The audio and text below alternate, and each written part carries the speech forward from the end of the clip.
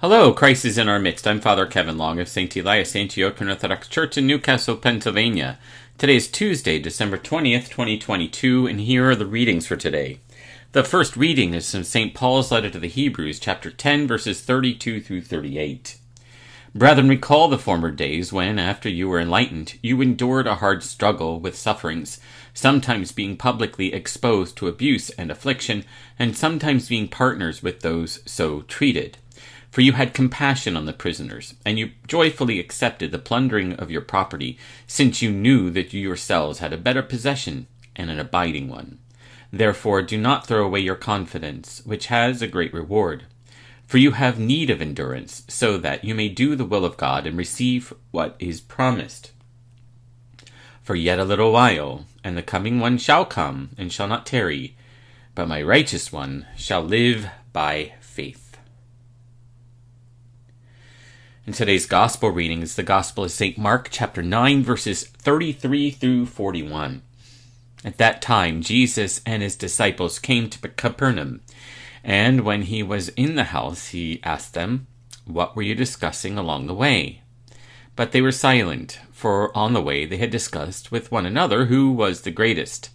And he sat down, and he called the twelve, and he said to them, If anyone would be first, let him be last of all, and servant of all.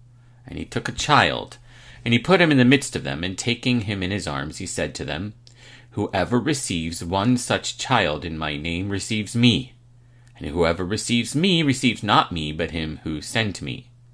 John said to him, Teacher, we saw a man casting out demons in your name, and we forbade him, because he was not following us. But Jesus said, Do not forbid him for no one who does a mighty work in my name will be able soon after to speak evil of me. For he that is not against us is for us. And truly I say to you, whoever gives you a cup of water to drink because you bear the name of Christ will by no means lose his reward. Glory to thee, our God, glory to thee. Today we see in the Gospel of Mark that same admonition about making sure that we have our priorities in the right order. In order for us to be first, we must be last. In order for us to enter into the kingdom of heaven, we need to receive like a child, not as some kind of captain of industry, not some kind of military strategist, not kind of savant, but just a simple child. Whoever receives one such child in my name, our Lord says, receives me. And whoever receives me receives not me, but him who sent me, who is, of course, God the Father. And then he says this statement that later on in the Gospels is modified slightly, but it says, He that is not against us is for us. This is something that he says when regarding those who are permitting are doing healings in Jesus' name. They do it in Jesus' name.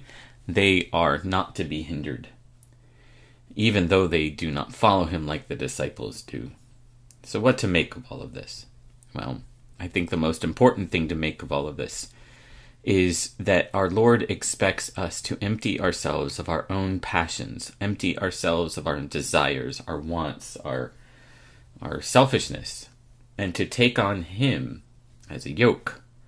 We do those things, we find life in them. We become first, even though we put ourselves last.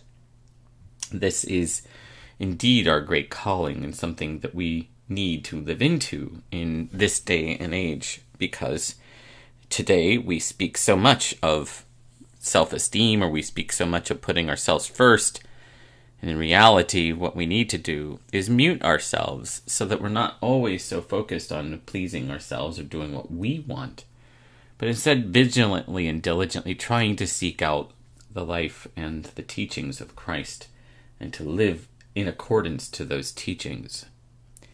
A child needs the help of others. We too, as children of God, need to reconcile, rec- recognize and reconcile that we do not make this journey on our own. We have others that help us, and if no others to help us, then we certainly have the Holy Trinity Father, Son, and Holy Spirit, and the entire host of angels and archangels, and all of those who have come before us and live in and amongst the church triumphant. And so humility again becomes a great tool for us in this journey. We need the humility to recognize that we cannot do these things ourselves. We need the humility to recognize that sometimes our own wants and desires get in the way of our salvation. We need the humility to realize that He has done everything there is that needs to be done. All we need to do is accept the hand that is offered to us, to take it by our own hand, and to lift ourselves up, because He indeed will. Those who are humbled, our Lord says, shall be exalted. May He direct our steps and give us the desire and the wisdom to follow in His ways. Well, I thank you very much for joining me. If you found value in this reflection, please feel free to hit the like button or to share it with your friends and associates. And of course, if you have any questions, please do leave questions in the comments section and I'll be happy to answer them as soon as I can. Meanwhile, I pray that God blesses you and those that you love today and always. In the name of the Father, and of the Son, and of the Holy Spirit. Amen. Thank you very much for joining me today. I pray you have a great day, and God willing, we'll see you tomorrow.